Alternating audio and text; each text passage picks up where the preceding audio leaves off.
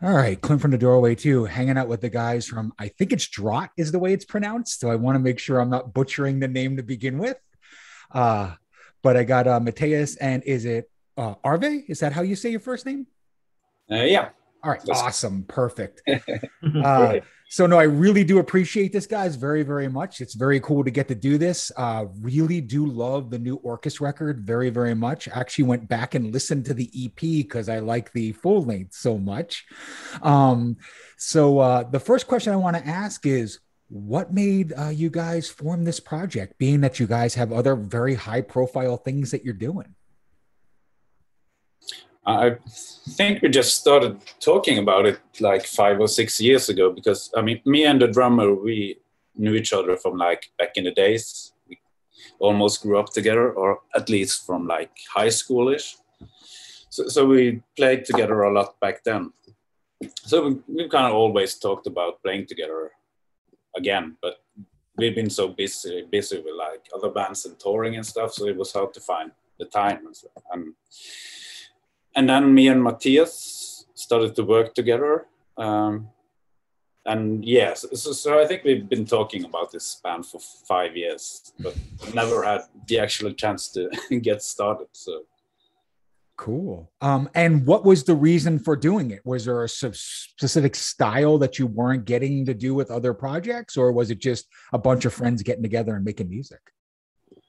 Yeah, the Lara. I think we just wanted to play together and, and see what came out of it. So we didn't have any plans or intention. We, we didn't even know what kind of music we want to play. So it was kind of exciting the first rehearsal when we finally got the time to come together. And so we just plugged in and started to play and no like ideas or anything. So cool. anything different from you, Matias, at all? Or uh, the style of music?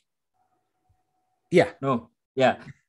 Uh, well, yeah, you can say. Um, I've actually I come from a cl classical background back in the days, but have like mainly been doing like electronic and rock music for many years.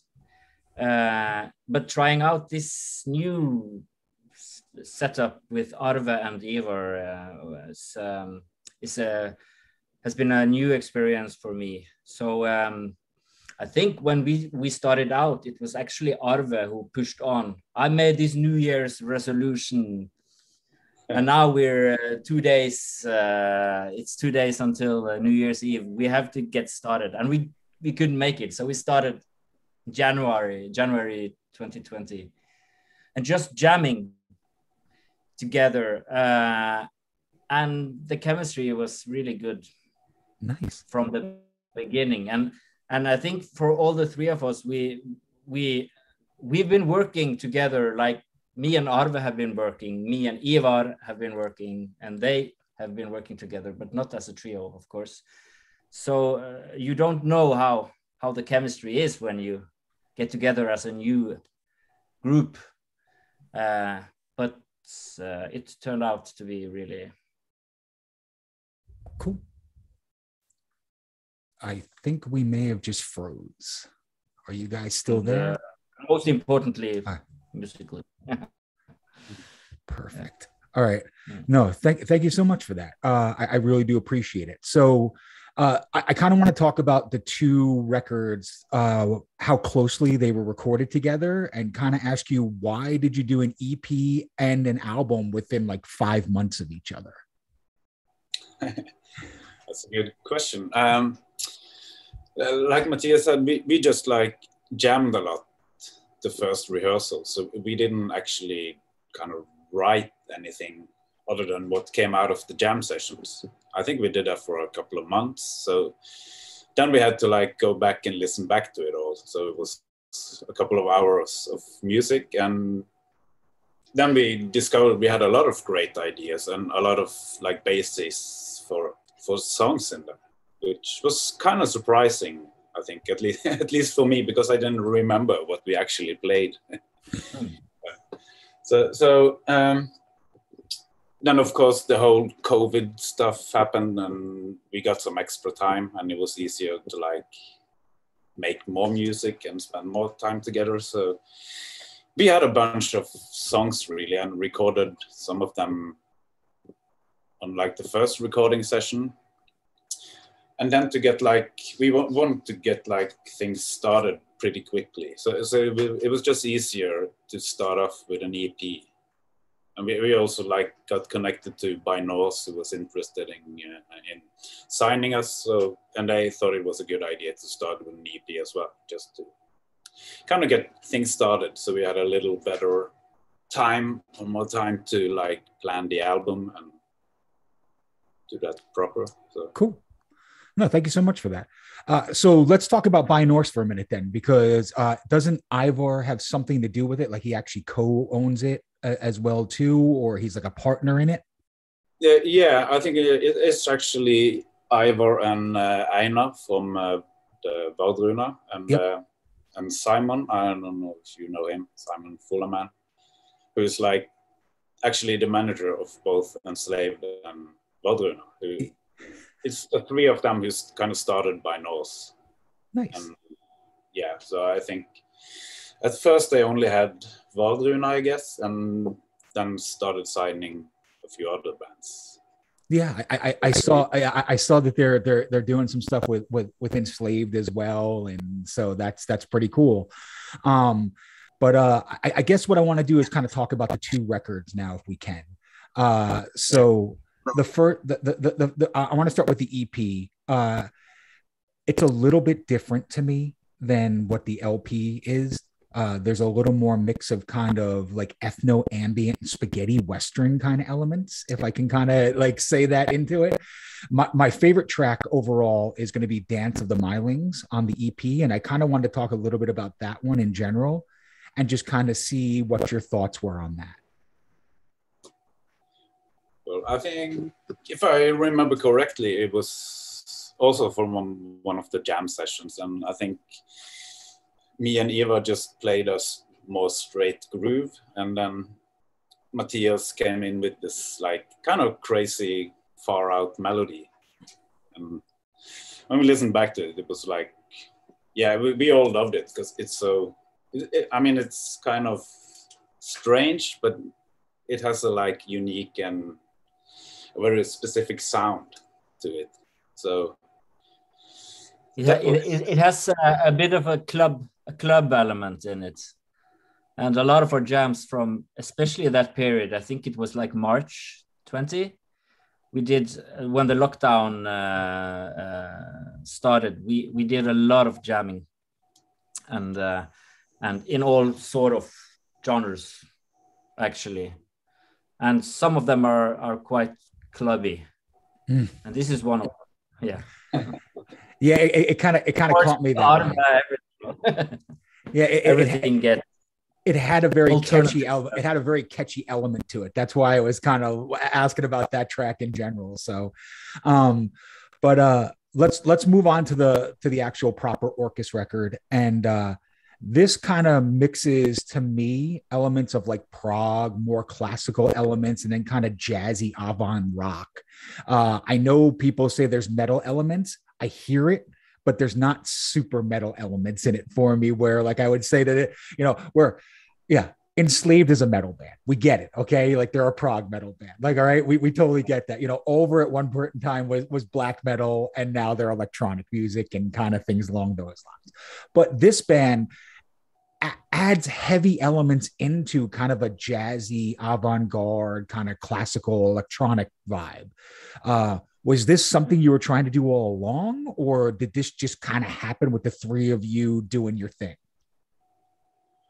I think it just kind of happened because as we said we were just jamming so we, we didn't at least in the beginning we didn't have any like written stuff so it wasn't like me coming with a riff or anything to to the rehearsal so, so, so it all happened naturally and and and yeah like, like you said there, there, are some really heavy elements or guitars in there but it's no like double bass on the drums and stuff so we don't go all the way into like the classic uh, extreme metal stuff at least. So, and I don't know. To, to, me, that would be like not that interesting since I've been doing it so so much with other bands, including Enslaved, of course. Uh, and yeah, I think um, it's cool to have like heavy riff if you like mix it in with other stuff. So you, you got that element, as you say, but you never go all the way because then it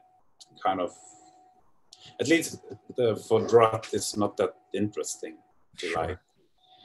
And and, and also uh, we, we really like to with the melodic instruments, uh, the cello and, and the guitar, to just press rec button and uh, and uh, experiment with sonic ambient layers and then just building as it, as it goes. So a, lo- a lot of the music is um, well actually kind of composed that way mm-hmm.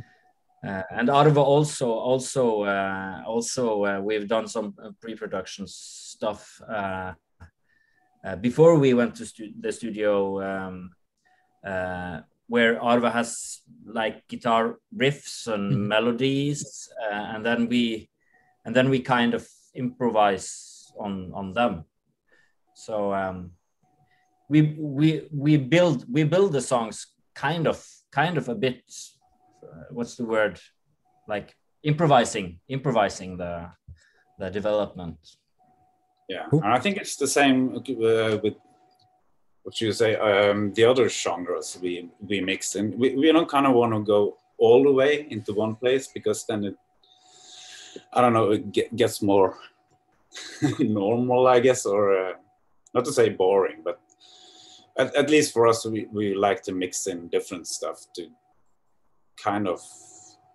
I think I think that's basically what this band is about. Very cool. So there's four songs in particular that I kind of want to talk about uh, right now. So we're going to dig into these a little bit. If you can kind of give me your mindset on them as well too, and I'm going to go in order of the record on the songs that have really caught my my ear. Uh, so the the first one is Katabasis, and I kind of want to talk about this because maybe I'm crazy but there is a very krautrock kind of 80s vibe to this song that reminds me of like old school can and stuff like that and like wire.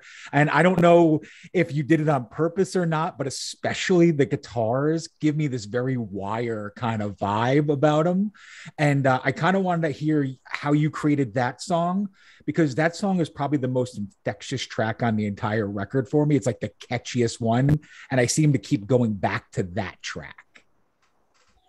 I think it's fair to say it's one of our favorite tracks as well. Uh, actually, that, that song is um, how we made it is pretty crazy. I, I, think because because we had, I think it was a, a basis of like four different jam sessions. So, but so when we listened back to like a lot of the jams, we kind of noted, okay, hmm, what if you mix this with this? And because they all had like the same tempo and and so so I think in the beginning, the song was like 25 minutes long, mm. consists of like four really long jam sessions, and then we like cut each part down to and worked a lot with it actually to get it to sound like not the, the four different jams, but to like give it a natural evolvement during the song. And yeah, so I, I don't know how long it is now, probably around six, seven minutes or something. So it's been a lot of editing, and especially the last section was really long, but um, yeah, it ma makes more sense to like uh, edit it down, I think. And I don't know, uh, I don't think I had anything in mind with the guitar part. I think it was just like from a jam session. As I said, I was playing this theme and we kind of got in, in the vibe, so we just kept playing it for like 10 minutes or so, I think. Cool. Like building. Yeah. I, I love wire, so that's kind of why I was saying that. It's kind of got that very wire guitar sound, so it made me very excited to hear that. Uh, Matias, you have anything on on this track at all? Yeah, um, um, I agree uh, with with uh, like that's the way I remember it as well uh, with the song. Uh, uh, and and we actually um, we, it's not right out of it. We, we we recorded that in the same kind of session, the same days as we did the EP okay. recordings.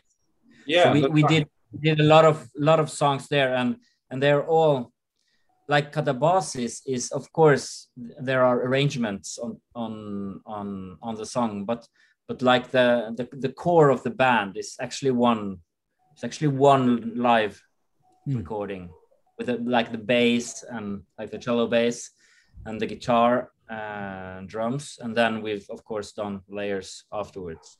Cool. so I, I can't i kind of want to talk a little bit about this is the only one where i think i hear vocals on it.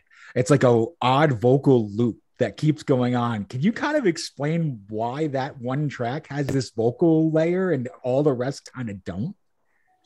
It's a russian radio transmission that oh came through uh, one of Arve's uh, Arve's uh, amps, and then we just. Oh, I'm just kidding. no, uh, but was there a particular reason there was vocals on this one track and nothing else? Well, actually, there's vocals on several tracks. I think it's vocals on one, two, three, four, five tracks on the album. So half of it, actually. but uh, they're most subtle. Uh, I think this is like probably the track where you can hear it the most because I've read several like reviews and stuff. There's like, oh, there's vocals on this one song, and why not the other? but I mean, the first one is obviously some female vocals on, mm-hmm. um, and also the last song on uh, the first side, the psychopomp, is some, but they're uh, like really low and more, more like singer. So yeah, that but that's what I was talking about is where this is more true traditional vocals. I heard vocal yeah. arrangements and pieces on other tracks, but like there's actual vocals going on on this song. So that's kind of was interesting. And it's funny that you talk about Psychopomp because that's the next song I was just going to talk about because that's the yeah. next song that really caught my ear. And that kind of reminds me of like a sci-fi horror soundtrack. And that's kind of the best way I can explain it. Like when I tell people I'm listening to it. Um, but very much like an 80s sci-fi horror track. Like it reminds me of that. When you were making Psychopomp, were you trying to make it that dark and spooky? Because it became a really kind of spooky track. Um, should I say? Um, yeah, when we first like uh, discovered or, or like uh, within the concept we we really needed that song because it's uh, important song in the journey. Um, but but it was one of the last songs we actually incorporated in the, in the album. And um, it, it wasn't that dark in the beginning. I mean it, it had the dark vibe with the chords and stuff but um, but yeah we, we definitely wanted it to be really dark because of yeah like like i said what it actually meant on the album with the psychopomp and stuff it, it had to be like a dark one. So a glimpse of well beauty or or, or uh, melancholy in it. Yeah the glimpse of hope or the last hope in the middle section Well, that's what I was going to say. There's a really kind of uplifting piece in the middle of it, and then it kind of goes back to chaos and darkness again. So I was going to talk a bit about that as well too, but you, you guys just did, so that's great. So I'm going to jump onto the next track that I really want to talk about, and it, it's the Marauders. Uh, and I don't know if there's a such thing as jazz doom, but I think if there is, you guys just created it um, because that song is equal parts of like kind of experimental freeform jazz and some of the doomiest goddamn sounds I've ever heard in my life. Uh, it actually like the first time I ever heard that song, I was laying in bed. It was like about one o'clock in the morning, and it scared the living shit out of me because I was not ready to hear the tones that were coming from that from the rest of the record. So, can you talk a bit about the Marauders and how that that song came to be and how it became so dense and heavy? Um, yeah, I, I think um, I think I had that like one riff for it. No, that's the other one. Sorry. Um, um, down, down, down, down, down. Yeah. Yeah. Um, I think it was actually meant to be on. Um, we, we had a plan for doing a like a really dark EP mm. back in the beginning. That was kind of in our minds going to be released after the first EP before we like yeah recorded a lot of songs and we figured out we wanted to do an album instead so it, it was not like the first songs we were like picked out for the album but then i think it was Matias who said it would be perfect on the album or something but yeah yeah i think we only had that one riff and we, we wanted it to be really dark. So, so that was something me and Matias worked a lot on with all the like shallow, like wooden sounds in the beginning. And yeah, the arrangements. And, and when the drums came on really heavy, it, it kind of all made sense. But, mm. We yeah, kind of we wanted it to sound like like uh, uh, like a ship you don't want to meet at yeah. night or well, anytime. I, I can yeah. tell you that's definitely what happened when I listened to it the first time. It was a very unsettling moment, but it, I keep going back to that track. Um, so the last track I want to talk about is the is the final track, Orcus, and uh, to me now, I kind of want to ask both of you because it almost feels like it's you guys incorporating your other projects with this project where it almost feels like uh, it's got elements of enslaved it's got elements of Ulver it's got elements of Drott all mixed in together into something where this very much could be an Ulver song or an enslaved song but you made it a Drott track. So can you kind of talk to me about that? Uh, yeah um, I, I, can assure you that that was never uh, the intention of the song. Um, that was also from one of the earliest jam sessions where we just started on that riff and played it for a long time, building building it up. Um, and uh, yeah, I guess from the album, I think that's the first song that were made actually on the album, probably together with Katabasis and uh, so so. Yeah, yeah, we didn't plan to, but I think it was actually the drummer Iver who who like picked out that song from one of the jam sessions. Like this is a great one. I'm I'm gonna record new drums on it, and it's gonna be awesome. And he also thought it was like a really evil song, so I think he called it like ondskapens akse in Norwegian. Like, like axis of evil. Axis of evil in, in English. And uh, so yeah, yeah, when we, we started to build a like concept around Orcus, it was kind of a natural theme song or title track. So it, it encompasses the record very well. It kind of puts a layer of everything that you do in that one track. So that was very cool to kind of close that way. Because if there's one song I can tell somebody, hey, listen to this, and if you like this, you're probably gonna like everything Drott does. Orcus is a good representation of that. Uh, so like I, I really do appreciate that. That's how you close the record. Was like uh, if you can encompass all of what you do in this one track. So it was very cool. Um, I kind of want to switch a little bit and talk a little bit about this logo that you have because it's really intriguing and interesting to me. Can you tell me what it actually represents and why you're using this logo?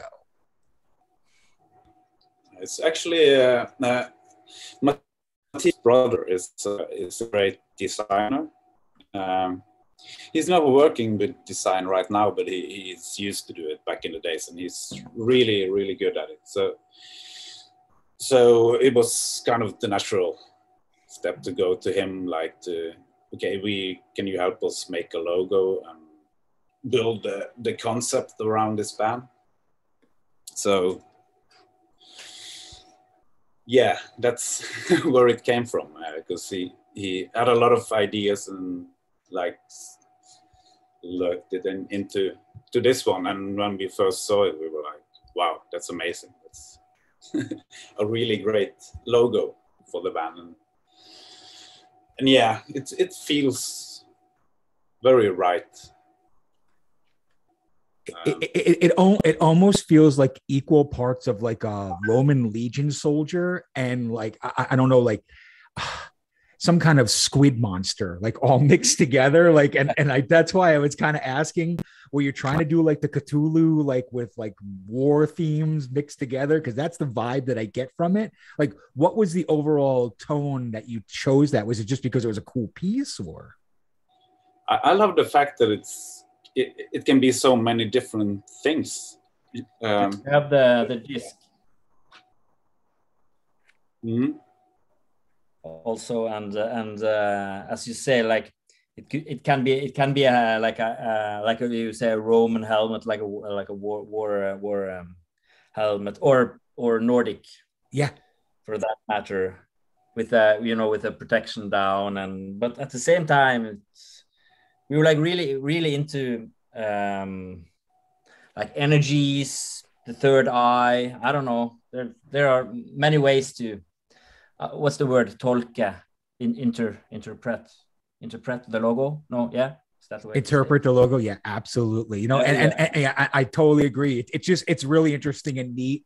And it's something that when you see it you know it's associated to you. So that's kind of really cool. Like you don't get that a lot these days anymore. Uh, a lot of logos are just not to be rude to like really cool black and death metal bands but they're just a mess of kind of shapes and symbols. Like this is this is much more an interesting thing that if i see that i know it's going to be for Drott so that that's kind of cool. Um i, I kind of want to also talk a little bit about if you were asked and you guys were forced to say, okay, somebody's going to listen to Orcus for the very first time, how would you describe the music to someone? Like, how, what would you say to someone to listen to it that's never heard your band before? I don't know. Matias?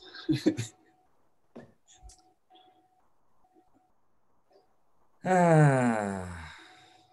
Well, I would probably recommend first time listeners to check out the, the EP first because it's so well to me uh, it feels really open and international in a way because we all have our our musical preferences of course local preferences but but but we've all, always been interested in all, all sorts of music and ethnical uh, like vibes in music. Um, well, as, as, as you can hear in the EP, it's, it's a lot of Arabic, but also Asian and uh, and, uh, and and and Nordic Nordic elements uh, in it. So um, well, it's sort of it's sort of a kind of heavy world music or something. I don't know. See, that's funny that you say that because the way I've been describing it to people is if you mix like ethno ambient with like the beginnings of metal and a ton of prog and jazz, that's kind of what you get. So you kind of just mentioned it in a roundabout way, the same way. It's a very hard thing to explain because not one song is really the same and that's kind of the it's not going to be mass appealed but the people that like it like myself are going to love this kind of stuff. Uh you just got you, you got to be open-minded and willing to hear a lot of different elements. So uh, again that, that's really a great way to kind of like you know heavy world music is probably the best way to say it that you possibly could ever say it.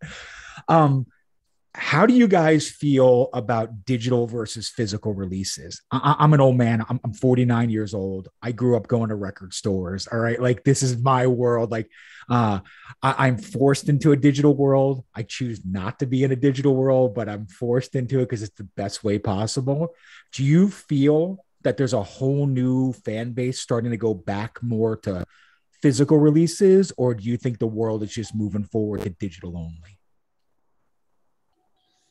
I don't know. That, that's a very interesting question because um, I, I'm myself, all, all, of us are like you. We grew up like going to record stores, and if you wanted to check out a new band, you had to go to the record stores and actually put it on there and listen to it. And if you liked it, you bought it, and if you didn't like the first songs or whatever, you you skipped it and listened to the next one.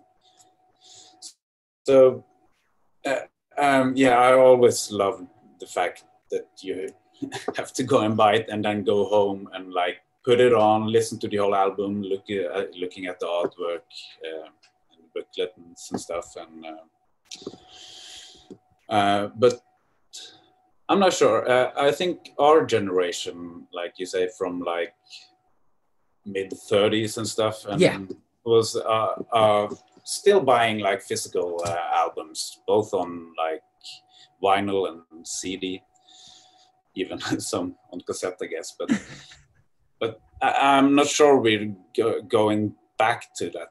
Uh, I, I, think the vinyl is going to be there um, for sure because it's a really cool format. But then again, it's really difficult format to like. Uh, handle and it, it, expensive uh, in the music industries, and because it's so big, it's also like a big uh, challenge to like have enough space for like uh, storing it for the record labels or distributors and stuff. So I'm not sure. I, I hope it'll get even more popular, but uh, it's a very um, it's a very personal thing to own a piece of vinyl and that's kind of like the way i feel about it is yeah I, I, love the larger art format. I love enveloping myself and opening if it's a gatefold and looking at it and if there's actual true artwork in it. I feel like it's a certain breed of person that looks for vinyl. Like they actually look for it. They try and find it. Like, you know, I see interesting colors. I see interesting scapes, you know, like interesting pressing ways they do things. And it, it's a piece of art to me. And, and if it wasn't that way, I wouldn't be buying it myself. So I'm glad that there's still people out there like ourselves that feel that way and are, you know, digital is great. Like, yeah, don't get me wrong. I love to go in my car, have my phone and be able to listen to any record I want but sometimes you literally just want to sit down, listen to a record, flip it over, listen to it again, and be actual part of the experience. Yeah, absolutely. But then again, like you said, the, the digital is it's not all that bad because it's a great way to discover a lot of music fast uh, and and also a good way for like new bands who might not even have a record label or mm-hmm to, to get their music out to, to people. So, but then again, it's crazy. It's like, I don't know what, 60,000 songs released every day. Yeah. that, that's a lot of music. So, so yeah. It's is, is, is Drott going to play live or is it going to just be more of a studio kind of project? I think we're definitely going to play live. Uh, we haven't done so yet because it's been difficult here, of course, with the whole COVID situation and stuff. But but yeah, we're definitely going to play live. Cool. So, and, and and will it will it be just the three of you live, or are you going to bring more people and actually have more of an like you know more of an ensemble cast? Because I can almost feel that it's going to be kind of a daunting task for just the three of you to be able to do it live. Yeah, but, but then again, that's how we started the band, and that's how the songs, most of them at least, are written. So, so I, I think we definitely want to try to start out with the three of us and okay. see how it works out. Um, but uh, we're not scared to like bring in like at least one more player because like Matias is playing, of course, all the bass on this cello, um, and also of course have, have the melodies and stuff and he, he can't do both Yeah. so it could make sense to like have a bass player playing all the bass so Matias can Mhm. be more free to do other stuff but yeah i, I think we're probably going to try to to start out with just the three of us and take it from there Cool. So I, I kind of want to talk about the video for the Marauders for a second, if I can. That's kind of where I want to go next. Uh, that is one unsettling video uh, for a very unsettling track. When you guys created this video, was this the actual interpretation you wanted, or was it kind of bastardized into this very noir kind of film esque kind of vibe? Huh. Uh, uh, I'm not sure. I, uh, I I remember I, I was recording a lot of stuff on like uh, I have a GoPro camera, so it's like a really cheap and easy, but but, but it, it works all right. And I think I had the, the idea of like making like a lot of videos, or at least a couple for like the the darker EP I talked about that was intentional the or the original idea with the Marauders song, but, but it wasn't kind of made for that specific video in the beginning. But then when it ended up on the album and we together with, By Norse, we said that it was going to be the first single. Uh, I thought, well, let's let's try to like edit some of these crazy clips together and and see. So yeah, it, it's it's pretty funny. The, the, the two guys you see like hanging from a tree or something, that's actually me and my brother. Because Oh, we're having like almost a family reunion with its kids and my mom and uh, a girl I was seeing at the moment. So we were up in the woods and I brought the camera and a lot of dolls. So yeah, let's have a Have fun in the forest. family family pick a picnic. I'm just gonna do some video shoots uh, with dolls and stuff. So Very cool. Matias, i- i- is, there anything uh, in that video that you didn't like, or was there something that you like? You were like, you know what? Maybe this is a little over the top. Well, with Arve, you never know. So um, he was kind of sending me different versions. But uh, I think for this for this track, um, releasing such an unsettling video is uh, is the right thing to do. Cool. And in the in the narrative, like if you see it alone and uh, before the album was released, it was maybe a bit for some a bit too unsettling, but but in the narrative, it's kind of what it's all about actually. So the Marauders are gruesome. Yeah. So that's where I kind of want to bring this uh, into is the actual theme and ideology of Orcus. Can you guys talk a little bit about that? Because it seems much deeper than even what you get when you listen to it.